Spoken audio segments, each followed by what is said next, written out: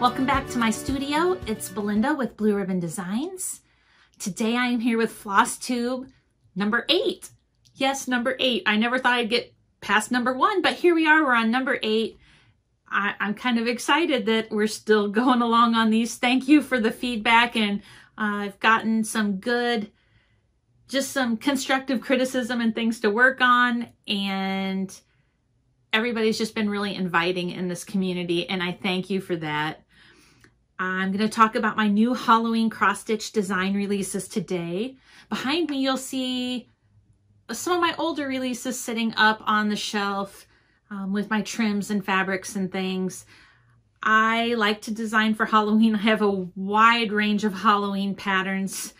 Uh, they're more for the, the lighter side of Halloween. I don't get too much into the scary Halloween. These are all pretty merry, but we'll just kind of go through each one talk about the fabric, the threads, the supplies, just everything used with them, um, some different design ideas for you, ways to finish, and I hope that you'll see something in here that really interests you. These are all special to me. Each one of these was designed um,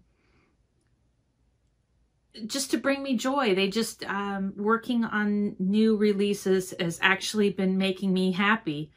And it's taking away from some of the negativity that had come in by doing a lot of client orders and a lot of finishing kind of stole my joy for a while. And I'm just kind of hitting the reset button, putting out some new pieces. I would really like that to be my focus. I'd like to do a little bit more sewing and creating for my Etsy shop.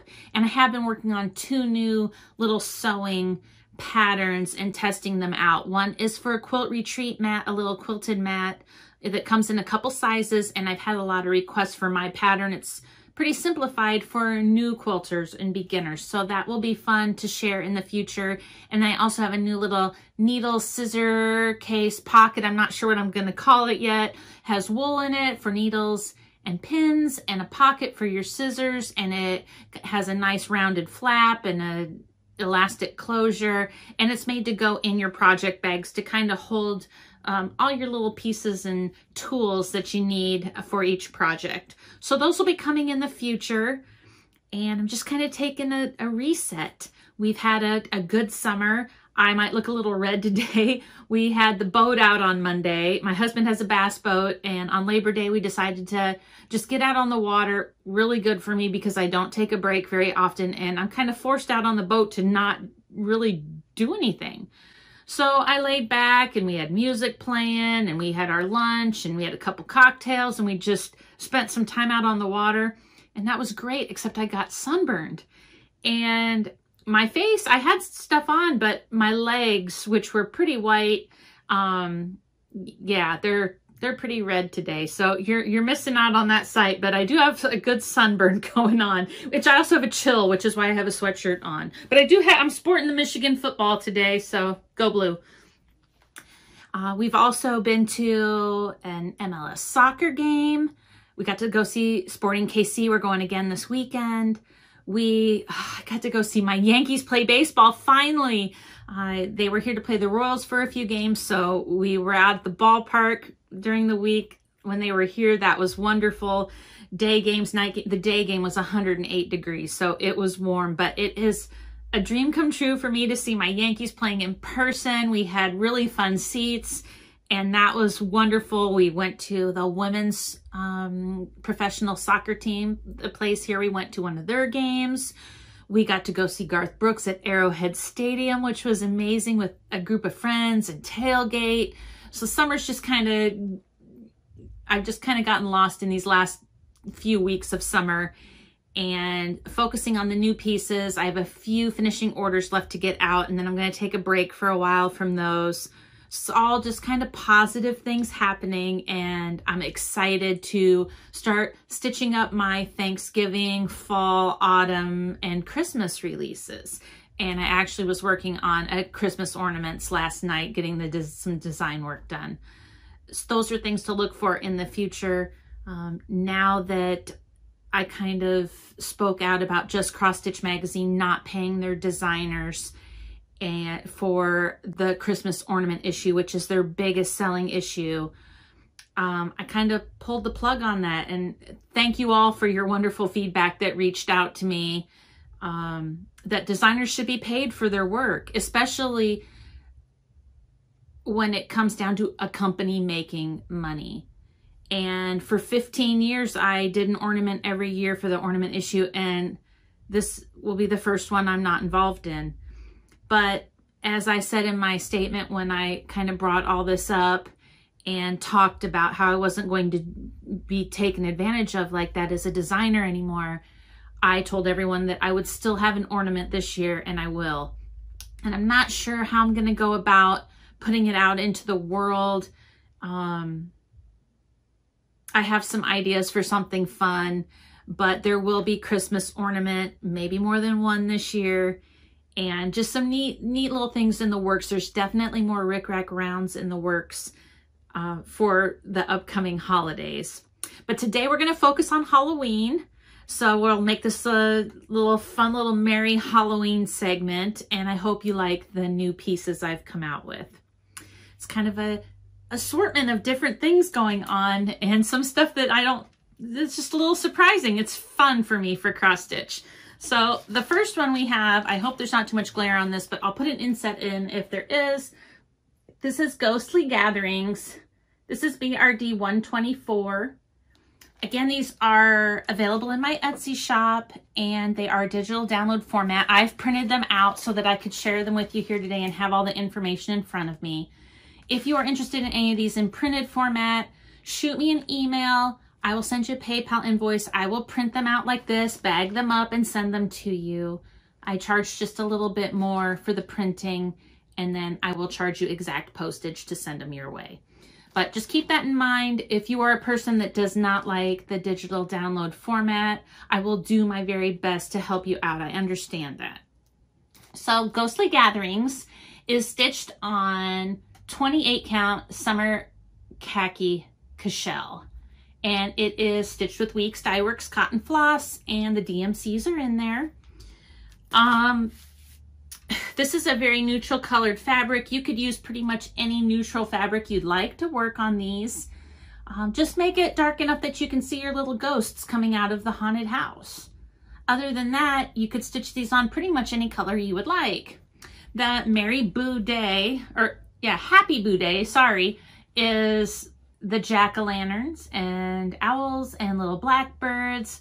We've got the Lady Dot Creates Black Pom, the I think it's licorice pom-pom trim and Lady Dot Creates hand-dyed velveteen on the back. And then for Merry Fright Night, same thing. A little haunted house with its ghosts. We've got the orange pom-pom trim from Lady Dot. And on the back, check out this velveteen. So I call these bowl fillers. You could use them as pin cushions. They're cute little pillows.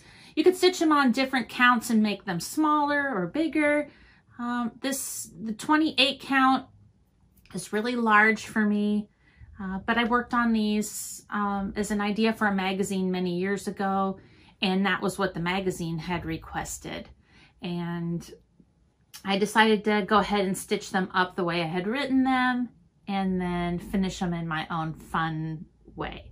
So this is a set, the pair of two small Halloween pillows bowl fillers, and it's called Ghostly Gatherings. Here are the lady dots. This is, I guess the purple is purple onion, and the orange backing is yams. And these are both hand-dyed velveteen. And this stuff is so wonderful to work with. If you have not used it to back things, you need to try it. Um, just make sure that you press the soft, fluffy side down. I always put it on a towel and, and press the back if you have to press it because you don't want to flatten out all that lovely velvet. I actually stuffed these with crushed walnut shells and fiberfill.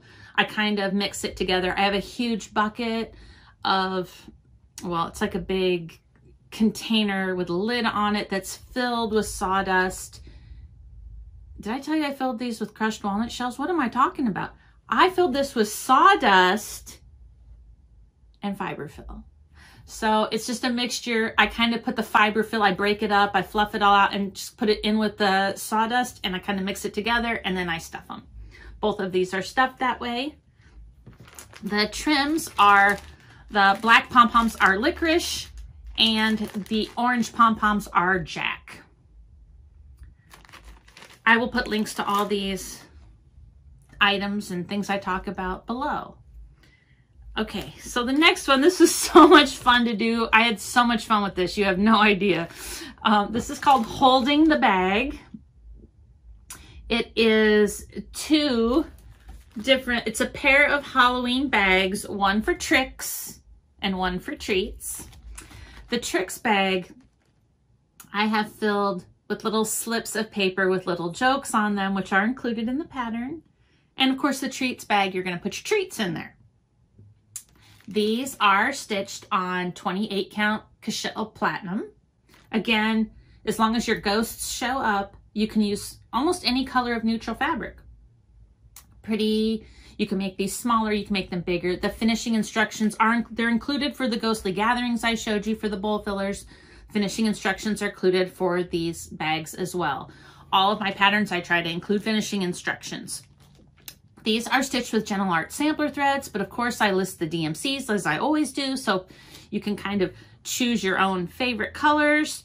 You can use the conversion to pick other hand-dyed threads. I really want my patterns just so you can use them with your favorite materials.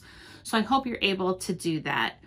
These use some cotton fabric for the bags, some wool, a little bit of rickrack, and some ribbon to tie them closed.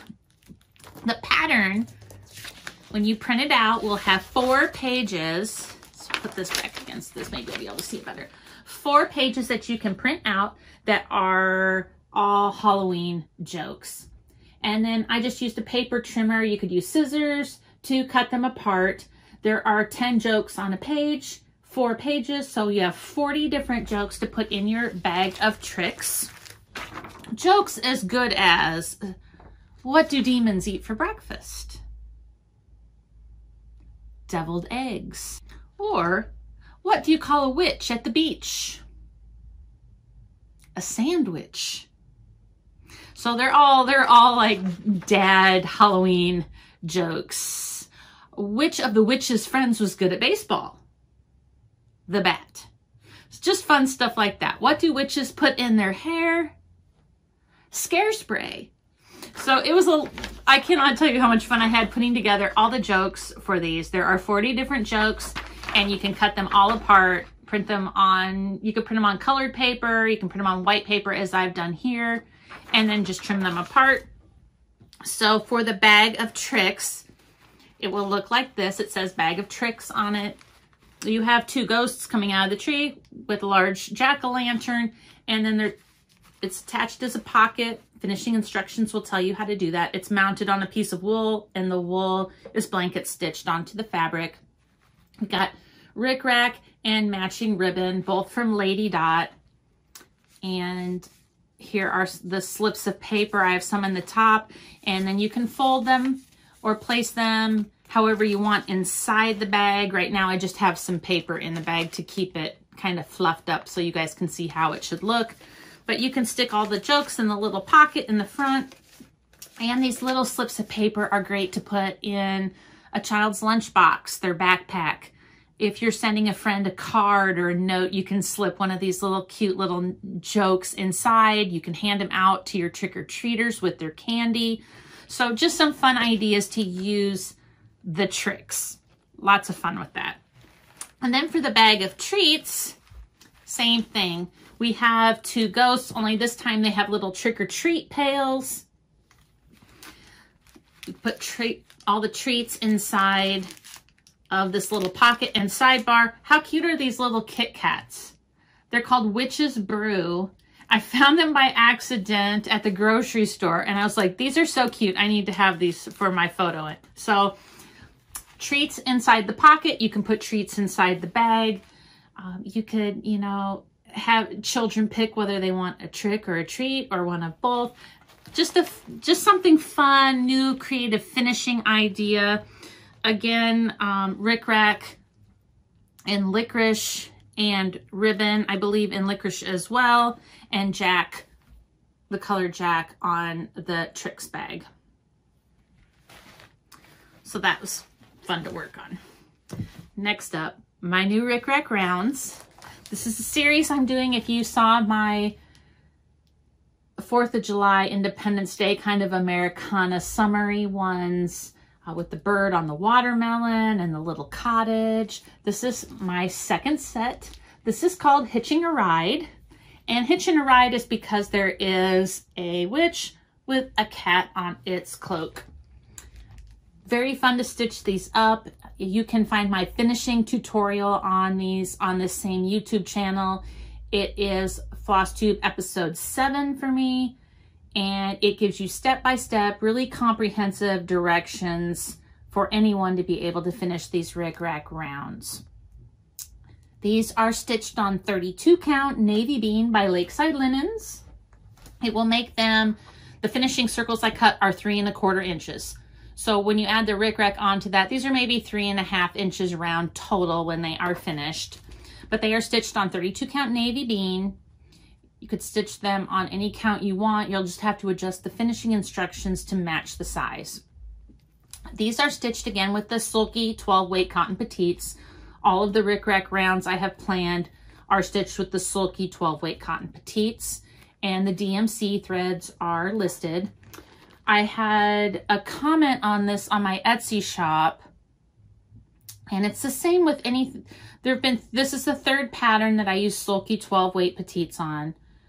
They, none of them are variegated. And I pick the DMCs that are as close as absolutely possible because I'm a stitcher and I know sometimes you don't want to go get supplies or you can't afford supplies and you want to use what you have on hand. So the DMCs are as close to the sulkies as I could get. So if you don't want to stitch with the sulky 12 weight, pull the DMCs. They're going to be pretty close to identical because it isn't, they are not a variegated, they're not variegated colors. They are not the the blendables.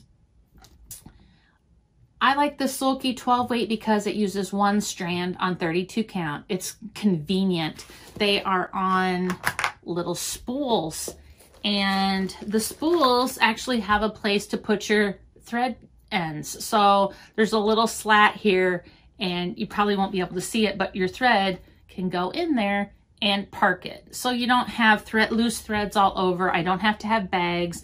A lot of times I'm stitching with a little basket and I just have all of the thread colors in the basket. But these are all solid colors. So don't be discouraged. If you do not have the sulkies, try the DMCs. You're going to get the same look that I have for the models. I just wanted to share that because there was kind of a, a negative comment well, not really a negative comment, but not the best review for the pattern because it used sulky. And I had to send this person a message and say, hey, it's exactly the same as the DMC. It's just you only need one strand. I really like the sulky threads. I'm not going to lie. And all of the Rick Rack rounds I have planned will be done with the sulky threads, but they will all have DMC conversions for you. For these, again, um, I use Lady Dot Creates hand-dyed Rick Rack. I had a question about which size, and she has two sizes. One is a mini Rick Rack, but I use the half inch Rick Rack. I don't use the little mini Rick Rack. So half inch Rick Rack in three colors. I used uh, green, which is called algae, bird's nest, which is a brown, and Jack, of course, which is orange. I use comic book board, um, the pins, I, I got some questions about the pins and where do I get them in the different colors. And you can get them at any craft or sewing store, but I order them on Amazon. And I'll put a link down below to my Amazon shop. If you go there and you click on uh, Sewing Room Essentials, those are all the things that I order from Amazon that I use in my designs or in my studio and there'll be a link there for the supplies you need for this as far as the pins and the comic book board, the double-sided tape, things like that. They are all listed there.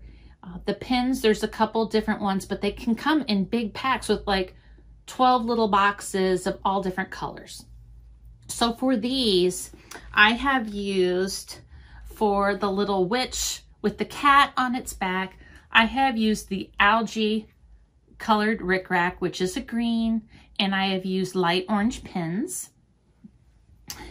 And then for the little haunted house with the little tiny ghost in the window, which someone noticed that on Instagram and that made me really happy. I think it was Garrett, Coffee Stitcher, um, put a little comment of, how cute is the little ghost in the window? And that made me so happy. He is stitched over one.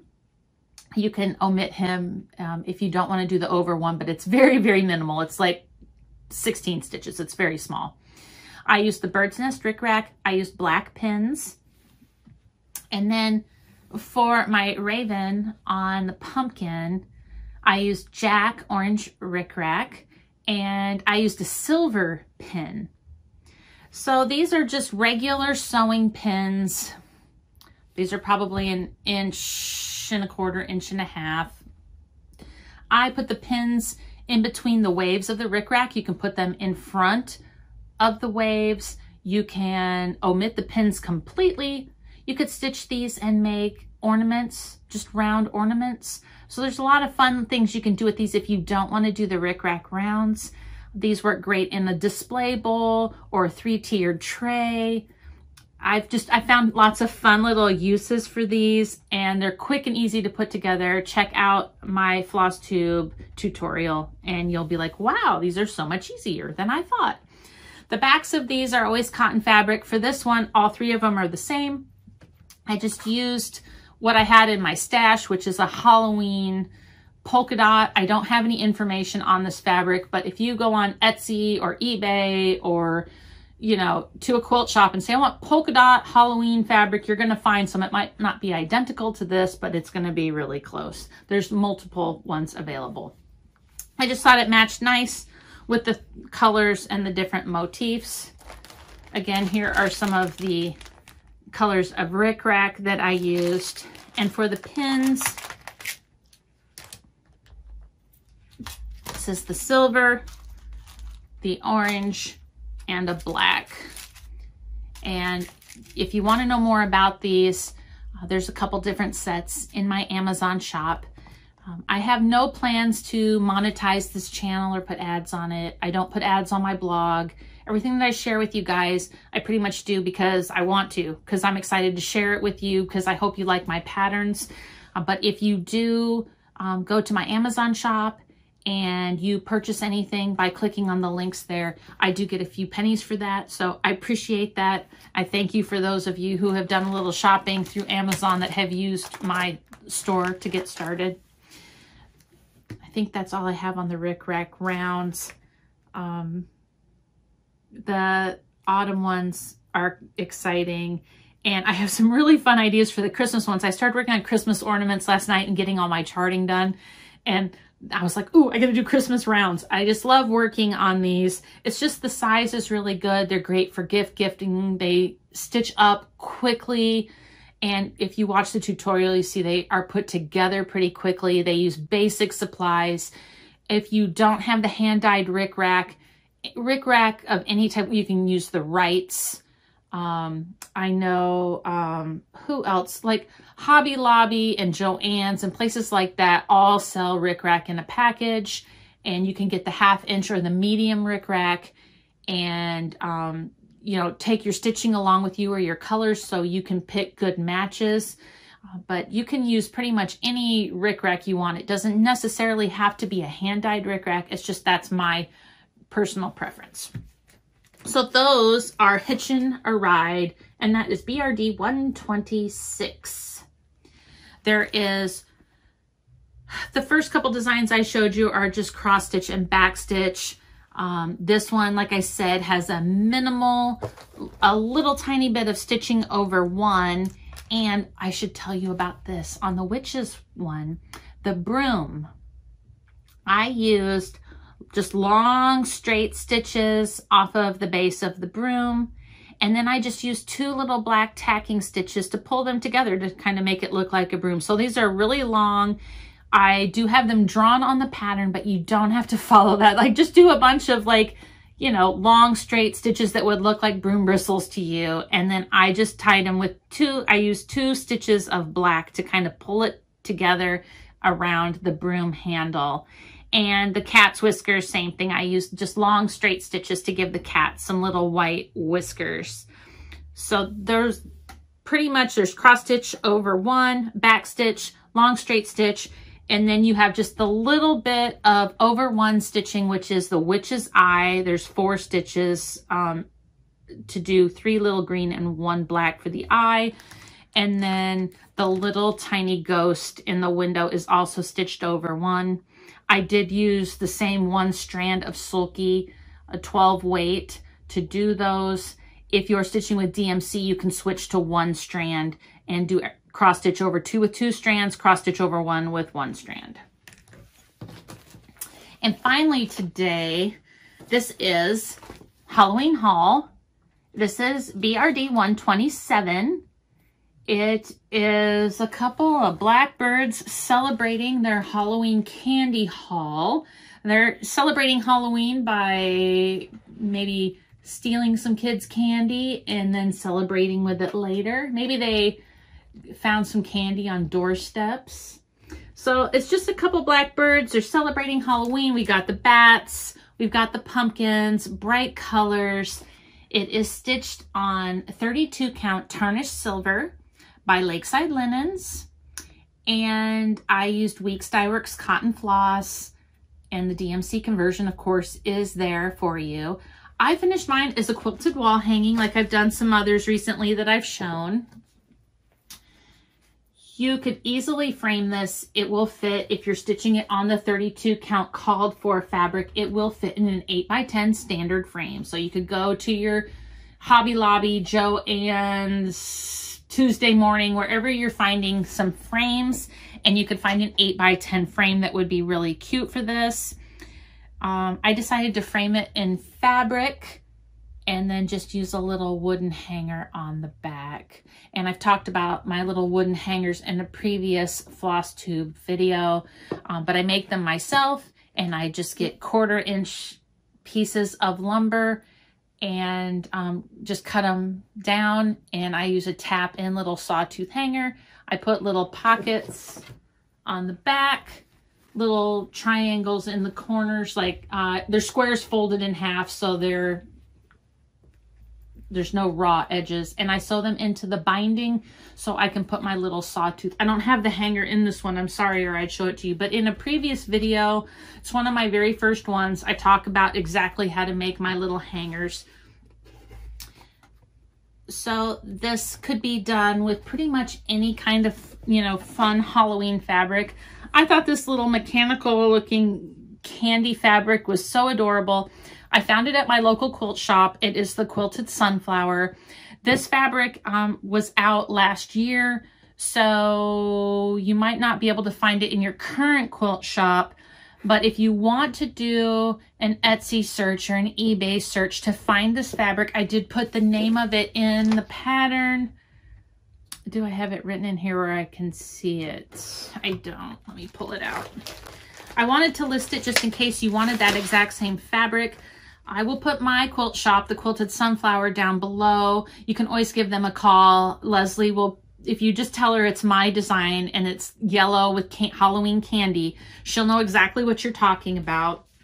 Um, and I have a little bit, I believe, in my stash as well. Um, it is Cheekyville Collection by DTK Signature for Studio E Fabrics. And I'll insert that below um, so you can see it, not hear it.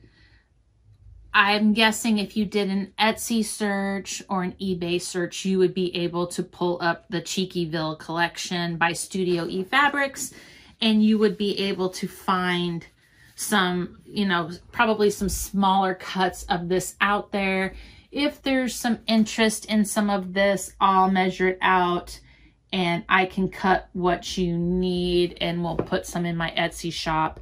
Um, I, I, maybe have two yards on hand. I don't have a whole bunch Um, I just think this would look cute with almost any color of fabric. I don't, I think most Halloween prints would go along really well with this. I just used a mottled black for the inner border and the binding. And then I just thought the candy was fun because of the candy here. But pumpkins would be fun. Blackbirds would be fun. Little bats would be fun. You could do spider. There's so many good Halloween fabrics out there. Stitch your piece up on the fabric that you like.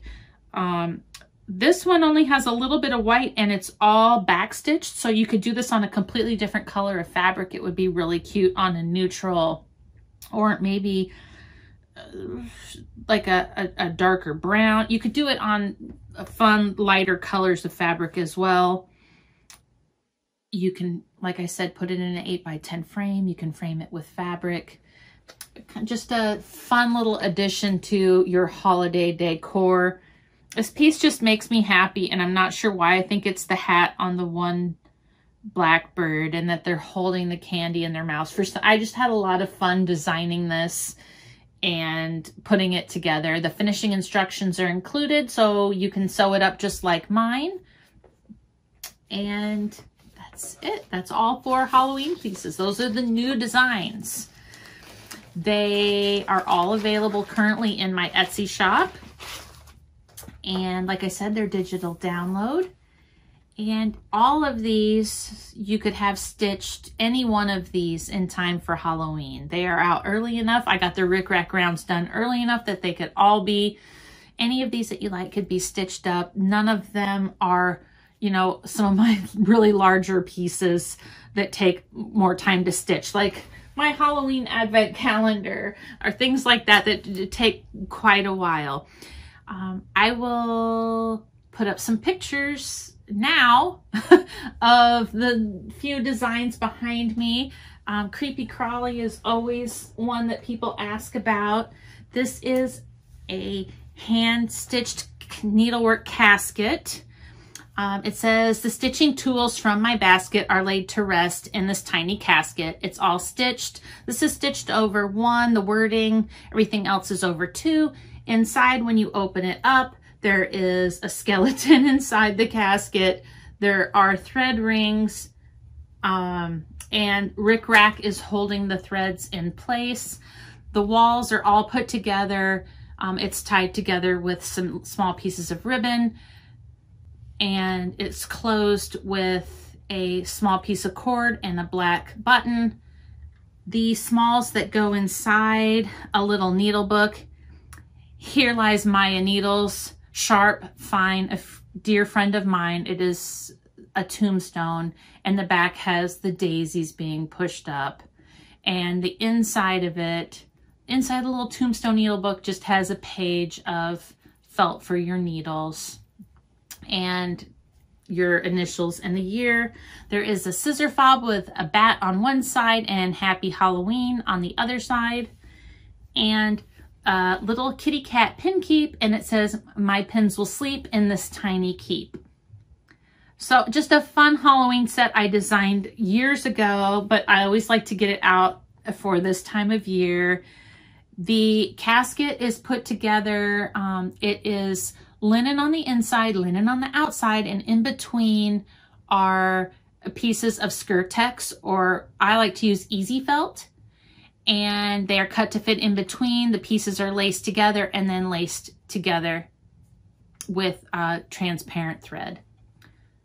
And there are full instructions in the pattern on how to put it together. So it's a kind of fun, unique thing. I do not have Mischief at Midnight pulled out yet, but it is a Halloween tray with a needle. It is looks like a fenced little area for the tray on the outside and there is a gate that is a needle book and it has some other smalls as well. And for that, I do have some finishing kits left. If you are someone who has that pattern and wants to put it together, I have pre-cut all of the Easy Felt Skirtex pieces for you and it has everything else you need. If you go to my Etsy shop um, and you look under finishing kits, you will see there is a finishing kit for Mischief at Midnight. I maybe have 10 or 12 left on hand. I don't have a ton of them, so if you're interested in that, has the fabric for the bottom of the tray. I will put some pictures up here so you can see what I'm talking about. We also have Halloween with a Y back here, which gives you directions for another type of little treat bag and a larger ornament. There um, is Halloween Wishes, which is a set of Halloween ornaments back here. I have quite a few Halloween designs. Um, some of them, all of the ones behind me are print patterns. I'm looking to maybe put some more of these into PDF format and add them to my site. But right now, all of the ones behind me are regular paper patterns that you can put in your cart, check out, and then I will ship them to you. I might, in the next week or so, might have some more of them put into PDF format. I'm slowly trying to get them available both ways. Um, other than that, there, yeah, there's probably 20 Halloween designs. I have a lot, a lot of Halloween designs, and I have actually even have one stitched and will, that will come out next year. I'm already looked ahead to that has smalls with it. That's really fun. So those are my Halloween new releases. I hope I have something there that you get excited about if you're a Halloween stitcher. If you're not a Halloween stitcher, you can look forward to my next design releases. I'm trying to have some things ready for autumn and like I said, some Christmas ornaments, some rickrack rounds, some seasonal pieces will be coming out later this year. And then of course I will have two sewing patterns for those of you who follow my sewing quilting journey. There will be those two pieces coming out as well. So I thank you for visiting with me today, for letting me pursue my passion, for just kind of sharing my enthusiasm for cross stitch, for visiting with me in my studio today. And I hope I'll be back sooner um, than this last time. I have filmed a couple other videos that I have not edited yet. One is uh, most asked questions about Blue Ribbon Designs and design work in general. Um, it's a little bit longer video, but it covers um, kind of how I got my start, what my background is, how I kind of got interested in design. It shows um, some of my first stitching pieces, my first blue ribbon winner, my, um, it shows a sketchbook that I draw in just a lot of um, little, just fun little historical things on blue ribbon designs and questions I get asked a lot, answers on pe when people ask me about becoming a cross stitch designer and what I would tell them, um, things like that. So that video will be coming in the near future. It's already filmed, it just needs edited, which means I have to put in the closed captions. And that's really important to me. I have some hearing impaired friends and viewers. And I know when YouTube shows you a translation on your screen, it is not always accurate and you have weird words and things that don't make sense. And I really want my hearing impaired friends to have the same experience watching my videos. So it usually takes me a couple days to go in and the talk to text that's not right and correct it all and read through frame by frame all, you know, all of the closed captions. So I have that video that will be coming out that's all question and answers. And then I filmed a video that is all about storage in my studio, how I store my threads, how I store cross stitch fabric, how I store wools and fabrics and trims and my favorite kind of storage solutions. And I haven't done it yet, but I'd like to film just kind of around my studio and in my walk-in closet and things that show you a little bit more there. Kind of how I store my zippers and my stabilizers and things like that. So at some point, I will get all that edited. I'll get the studio filmed and added to that and um, I'll be back with those. So you'll see me again when there's new releases, um, the questions and answers, the studio storage, stuff like that. If you have something you really want to see or you want a tutorial on, or you'd like to hear me talk about a little bit more, please drop me a comment, send me an email. I love hearing from all of you. Uh, Stitchers are truly some of the nicest, most giving people in the world. And shout out to Mary W., if you are watching this, who sent me the nicest, most encouraging card at the exact perfect moment. Sent, sent me a handwritten, which is not seen very often these days, card in the mail with words that just kind of gave me a, a boost um, when I was kind of feeling pretty low about things. So, Mary, if you are watching this, thank you so much for your handwritten note. I appreciate you.